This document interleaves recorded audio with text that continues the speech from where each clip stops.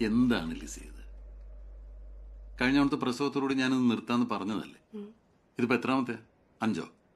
നാല്. നാൽപ്പത്തിരണ്ട് വയസ്സായില്ലേ നിങ്ങൾക്ക്?